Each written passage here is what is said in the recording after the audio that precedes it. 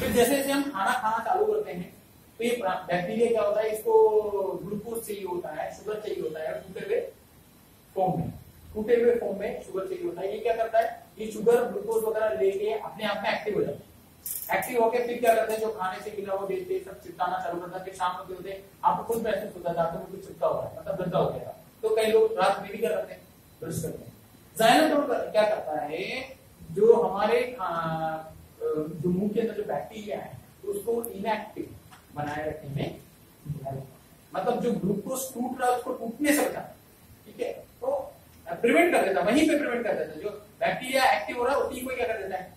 तो उसको खाना मिलेगा ही नहीं तो एक्टिव नहीं होगा। तो जब भी आप गैनोसिक प्लस टूथपेस्ट आप यूज़ करेंगे इसको तो आपको चीज़ महसूस होगा कि जैसे पहले जितनी जल्दी गंदा हो रहा था, उतनी जल्दी नहीं हुआ। ठीक है? तो वो इनएक्टिव करने में मदद करता है। दूसरा, इसके अंदर सोडियम सल्फेट हमने क्या कर दिया? ये चीज़ ऐड नहीं किया। ये नहीं है। हर टूथपेस्ट के अंदर, हर क्लीनिंग प्रोडक्ट के अंदर ये चीज़ होता है, क्योंकि ये क्लीनिंग एजेंट है। तो ये डालना ज़रूरी है बट ये क्या केमिकल है? इसको हम डाल नहीं सकते हैं। तो इसलिए हमने नेचुरल क्लीनिंग एजेंट निकाला। वो है सोडियम उसका भी शॉर्ट में देखेंगे तो ऐसा लगती है। तो बोले सोडियम क्लोरिन सैपोसिलेट का नाम है। तो वो चीज़ हमने डाला वो वेजिटेबल से निकाला हुआ क्लीनिंग वेजिटेबल से निकाला हुआ क्लीनिंग एजेंट है। तो हमारे दांत को साफ़ करने में भी मदद करता है नेचुरल तरीके से। कोई केमिकल इसमें नहीं डाला ओके तो मुँह को, जो माउथ को प्रिवेंट करने का काम टूथपेस्ट करता स्पेशली मसूड़ों को मज़बूत करना क्योंकि अगर मसूड़े हमारे मज़बूत हैं तो हमारा दांत भी मज़बूत नेक्स्ट है हमारा सोप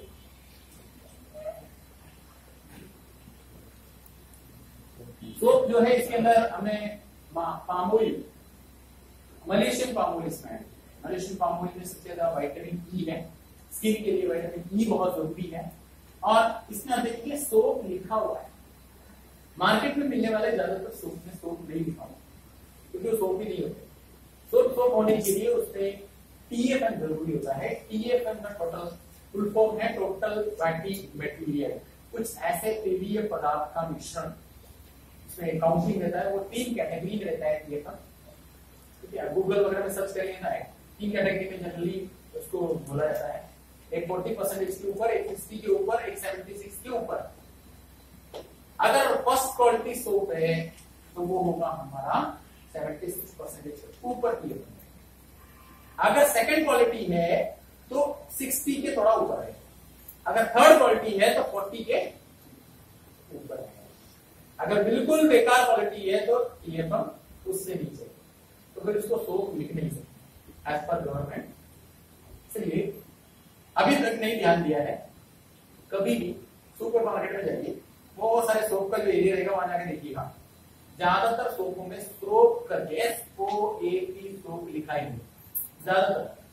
लिखा नहीं है मतलब उसका जो टीएफएम कंटेंट है, जो तेलीय पदार्थ एक्चुअली चाहिए सोप में वो चीज़ चालीस के नीचे है या नहीं है। वो सिर्फ़ बाहर है बाहर बाहर मतलब कपड़े धोने वाला। कपड़े धोने के लिए यूज़ कर सकते हो। ठीक है? और कोई काम के लिए, शरीर के लिए नहीं किया शरीर के लिए अगर यूज़ करना है तो सोप होना चाहिए, उस पर लिखा होना चाहिए। एस ओ ए सोप लिखा होना चाहिए।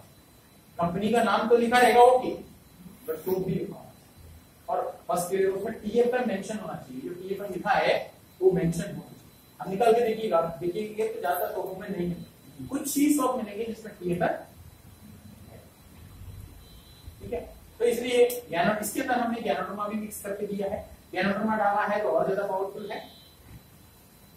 अभी वाइटामिन ई इसके अंदर है स्किन के लिए बहुत इंपॉर्टेंट है। स्किन का जो नेचुरल ऑयल है, इसको मेंटेन करने में हेल्प करता है। इसलिए इसको हर तरीके के स्किन वाले इसको यूज़ कर सकते हैं. इवन सोरियासिस का प्रॉब्लम भी हो तो कई लोगों को रिज़ल्ट देखिए प्रोडक्ट भी कई लोगों ने यूज़ किया उनके दवाई के साथ में इस रोग को भी यूज़ करके कई लोगों का टेस्टिमोनी हैं नेक्स्ट है हमारा शैम्पू शैम्पू में वाइटामिन बी फाइव ज़्यादा है. ठीक है? अभी शैम्पू जो है जनरली कैसे यूज़ करने का है? बाल में लगा हाँ। बाल में लगा दिया। फिर रखने का टाइप रखू। हाफ़ एन आवर रखो। बस। लेट हो जाएँगे। डेढ़ महीना ओके सर। जड़ों में लगाने का है ना? मैं पूछा कितना टाइम लगना पंद्रह मिनट। पंद्रह मिनट आधा घंटा एक घंटा फोर्टी फाइव मिनट। लगा के गए तो भी चलेगा। चलेगा। अरे मैं नया कंज्यूमर हूँ मैं पूछ रहा हूँ कितना टाइम लगाना है आप बोल रहे हैं एक घंटा लगा रहे मेरे पास टाइम ही नहीं है एक घंटा। रात को लगाओ ना सुबह को देना नहीं है मेरे पास टाइम अरे मैं बहुत बिज़ी आदमी हूँ आप बोलेंगे एक घंटा। मैं मन में सुनना रहने तो भाई मेरे पास वैसे टाइम नहीं है। काम करने का टाइम एक घंटा जब शैम्पू बोलोगे जब शैम्पू बोलोगे तो लोगों को दूसरे शैम्पू हमेशा कंपेयर करता है। इंसान कंपेयर करता है। हम भी होते हैं कोई चीज़ को कंपेयर करते हैं। तुमको वो वाला शैम्पू याद आता है। वो वाला शैम्पू याद है तो वो शैम्पू जो भी शैम्पू मार्केट में उसको लगाते हैं तो झाग बनता है नहीं बनता? बनता है। बनने का तो लगा ही रहता है। जब तक उसको धोगे नहीं झाग। अब आदमी वो सोचेगा इसको लगा के झाग के साथ में इतने घंटे से मेरे पास ऐसे टाइम नहीं है काम करने के लिए टाइम नहीं है मैं इसको मतलब जब टाइम होगा ना जब रिटायरमेंट आएगा तब यूज़ करूँगा। तो फ़र्स्ट ऑफ़ ऑल जब भी कोई व्यक्ति बोले नहीं मैं नहीं बोल रहा है मत बोलिए। आप इसको देखो बोलने का कैसे आप बताए क्योंकि देखो आपको मालूम है कि वो व्यक्ति किस टाइप का व्यक्ति है। ओके आप जब भी प्रमोट करो उसने पूछा आपके पास शैम्पू है क्या? अगर आपने प्रोडक्ट प्रमोट किया उसको शैम्पू यूज़ करता हो वैरायटी ऑफ़ शैम्पू पूरा शैम्पू के मतलब हाँ है शैम्पू ठीक है पहले तो पूछिए इसका पर्पस क्या है? तो बोलेगा जनरली लोग क्या शैम्पू किस लिए यूज़ करते हैं? बाल धोने के लिए। मतलब बाल साफ़ होना चाहिए। दो तीन दिन में एक बार वो शैम्पू यूज़ करते हैं क्लीन होना चाहिए। तो अच्छे अच्छे खुले खुले बाल लेडीज़ भी है तो उनको वो डेली शैम्पू करती है कई लोग। वो खुले खुले बाल दिखने चाहिए गंदा मतलब जो बाहर का जो हवा होती है, उससे चिपक जाता है, गंदगी चिपक जाती है तो खुलना चाहिए। तो खुले खुले बाल होने चाहिए बाल खोलने के लिए या उसको क्लीन करने के लिए यूज़ किया जाता है शैम्पू दूसरा काम है, कई लोगों को डेंड्रफ की प्रॉब्लम होती है। तो डेंड्रफ के लिए डेंड्रफ ना आने के लिए या हेयर को हटाने के लिए कई लोग अलग अलग शैम्पू यूज़ करते हैं। ये दो ही पर्पस होते हैं ज़्यादातर लोग। ओके बट हम उनको क्या बोलते हैं, इस तरीके से ऐसे ऐसे ऐसे ऐसे ऐसे फिर वो नहीं यूज़ करते तो जब भी कोई व्यक्ति आए, उनको बोलिए, सर, आप उसको जनरली शैम्पू तो क्या है? आप जैसे बाल धोने के लिए यूज़ करते हैं, वैसे आप उसको भी। बट ये है कि ये एक अच्छी क्वालिटी का शैम्पू तो आपकी हेयर को कोई नुकसान नहीं पहुंचाएगा, उल्टा फ़ायदा देगा आपको। वाइटामिन बी फाइव इसमें ज़्यादा आपको मिलेगा। जो आपके बालों के लिए बहुत इंपॉर्टेंट रहते हैं। ठीक है, आप इसको ऐसे बालों को वॉश करने के लिए हेयर को वॉश करने के लिए आप यूज़ कर सकते बट अगर आपके पास टाइम है सर क्योंकि इसके अंदर एक ऐसी चीज़ है जो बाकी शैम्पू में नहीं है। तो पूछेगा वो क्या है? इसके अंदर गैनोडर्मा है। गैनोडर्मा चांसों से ज़्यादा पोषक तत्व से भरा हुआ है। अगर आपके पास कभी टाइम मिले मान लो आपको संडे को टाइम मिलता है, ठीक है, आपको टाइम है तो बाकी शैम्पू में आप ज़्यादा देर रख नहीं सकते ये शैम्पू अगर आपने थोड़ा सा लगाया, मान लो थोड़ा काम का लोड ज़्यादा हो गया स्ट्रेस ज़्यादा हो गया तो ये मेरा एक्सपीरियंस है बोलना। कंपनी ने शैम्पू किसने दिया? है बाल धोने के लिए क्लीन करने के लिए डेंड्रफ नहीं आना चाहिए एंटी डेंड्रफ का काम करता है इन सब के लिए विटामिन डी फाइव मिलेगा।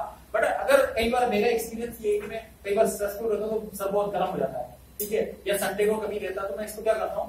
बालों में थोड़ा सा लगा के उसको अच्छे से, मसाज जनरली शैम्पू में बताइए जनरली शैम्पू में झाग दिखता है इसमें झाग? आपको लगेगा ही नहीं आपने शैम्पू अगर ये थोड़ा आप रखेंगे पंद्रह मिनट आधा घंटा जैसे अगर आपके पास टाइम है तो रखेंगे तो क्या होगा, ये गैनोडर्मा आपके ब्रेन में क्या करेगा? पेनिट्रेट करके जाएगा गैनोडर्मा, और वो ब्रेन के लिए बहुत अच्छा है। आपकी जो ब्रेन की प्रोटेक्शन का काम करेगा। टाइम है तो टाइम नहीं है तो कोई आप वॉश कर लीजिए ऐसे भी यूज़ कर सकते हो इसके मल्टीपल यूजेस हैं ऐसे। मेरा एक्सपीरियंस है बोला, क्योंकि मैं भी उसको उसी तरीके से यूज़ करता तो आप बता सकते हैं ना अपना एक्सपीरियंस बता सकते है। कंपनी के लेवल में आपको बताएँगे तो ये दोनों चीज़ आपको बताना तो बंदा है सर मैं जनरली यूज़ भी करता हूँ। हाँ कभी उसको ऐसा लगा कि हाँ से बताया था मैं आज थोड़ा सा सर ऐसे क्योंकि ठंडा ठंडा लगता है। थोड़ा सा सर में लगाएँगे तो फुल ठंडा ठंडा सा ऐसा फील होता है। ठीक है? इस तरीके से आप लगा सकते और स्पेशली साइनस वगैरह की प्रॉब्लम क्योंकि मेरी मदर के लिए, या मेरे को भी ये प्रॉब्लम था साइनस का और माइग्रेन का प्रॉब्लम हुआ तो उनका माइग्रेन बढ़ता है तो वो प्रॉब्लम हमारा शैम्पू के कैसे हुआ? उसने डायरेक्टली नहीं किया। कफ निकलने लगा बहुत फिर कफ जमा होता है। साइनस में कफ जम जाता है तो माइग्रेन का प्रॉब्लम चालू होता है। ये कफ निकलना चाहिए। तो अंदर तो हम खा ही रहे साथ में जैसे ही कैनोडमा हमने लगाया, रात भर लगा के हमने छोड़ा तो क्या होगा वो कफ बहुत कैनोडमा उतर के गया डिटॉक्सिफिकेशन चालू हो गया। कफ बहुत निकला, बहुत ज़्यादा। नाक से, मुँह से, खांस सांस चमड़ी का लगा कफ निकला। जब कफ निकल गया इतना रिलीफ हो गया। अभी तक वो प्रॉब्लम पहले तो अगर मैं अपनी बात करूँ तो मैं धूप में थोड़ी देर ज़्यादा रह नहीं सकता। धूप करते ही मेरे को सर में दर्द था वो प्रॉब्लम नहीं क्यों क्योंकि बॉडी को कुछ पोषक तत्व की कमी थी सर को, वो पोषक तत्व किसने दिया? कैनाडा ने प्रोवाइड किया। तो बॉडी में वो चीज़ तो इस तरीके से हमको शैम्पू इसी तरीके से मसाज है मसाज के अंदर थर्टी